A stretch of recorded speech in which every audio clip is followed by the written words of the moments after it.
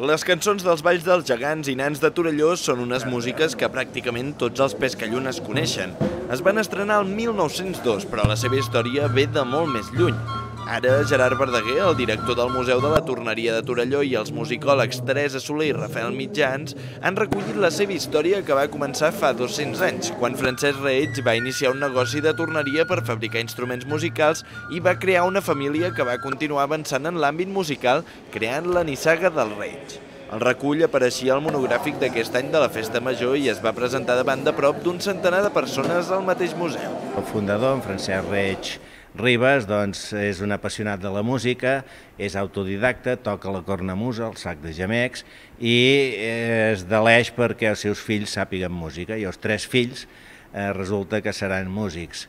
Un eh, serà el mossèn Joan Reig de Berga, que s'hi està 47 anys allà fent de mestre capella, organista i xantre, eh, i els altres dos germans faran de torners i lutiers, podríem dir, o fabricants d'instruments. Joan Reig va viure a Berga i probablement les visites que rebia del seu nebot Ramon Reig expliquen les semblances entre les músiques de la Patum i les dels tres primers balls dels gegants de Torelló.